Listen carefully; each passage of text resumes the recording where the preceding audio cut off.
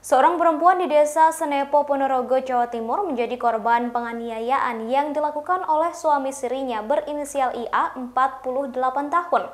Korban bernama Jasmi dibukuli menggunakan besi pada Jumat 15 Oktober 2021 di sebuah gudang di Kecamatan Rungkut, Surabaya, Jawa Timur. Setelah dianiaya dalam keadaan lemah, Jasmi sempat menelepon sang anak dan meninggal di pangkuannya. Pertengkaran yang terjadi antara Ia dan Jasmi lantaran pelaku menuduh korban berselingkuh. Ia kemudian mengambil sebatang besi dan memukul kepala Jasmi sebanyak tiga kali. Pukulan tersebut mengakibatkan Jasmi tersungkur dan mengalami luka berat di pelipis kiri serta bagian belakang kepala. Dikutip dari Kompas.com Sabtu 16 Oktober 2021, dalam kondisi lemah, Jasmi menelepon sang anak untuk meminta pertolongan. Sang anak yang bernama Septia langsung menemui sang ibu di rumahnya dan terkejut saat melihat Jasmi sudah bersimbah darah.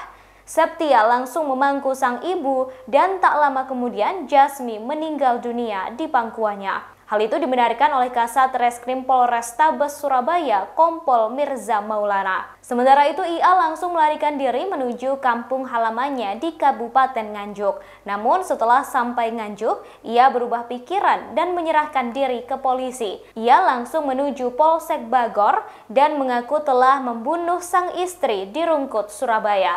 Kapolsek Bagor AKP Tommy Hermanto langsung melakukan pengecekan ke Polsek Rungkut. Kini kasus tersebut masih dalam penanganan.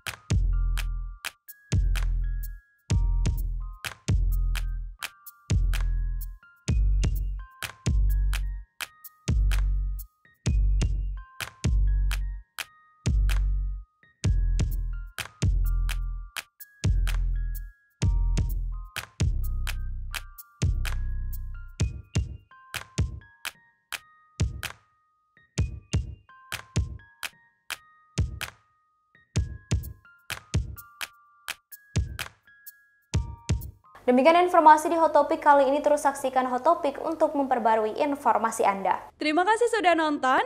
Jangan lupa like, subscribe, dan share ya.